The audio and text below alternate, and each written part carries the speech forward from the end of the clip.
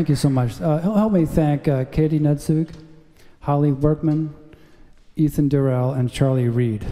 String.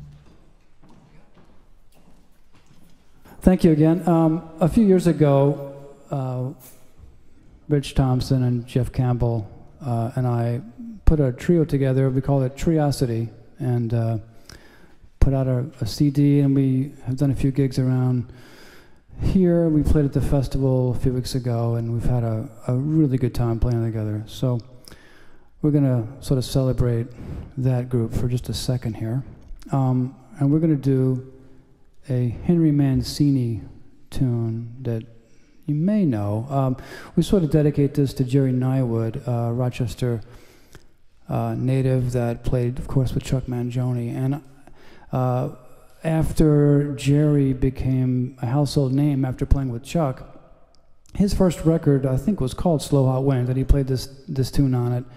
Uh, and I've sort of been fascinated, fascinated with it ever since. So we hope you enjoy it.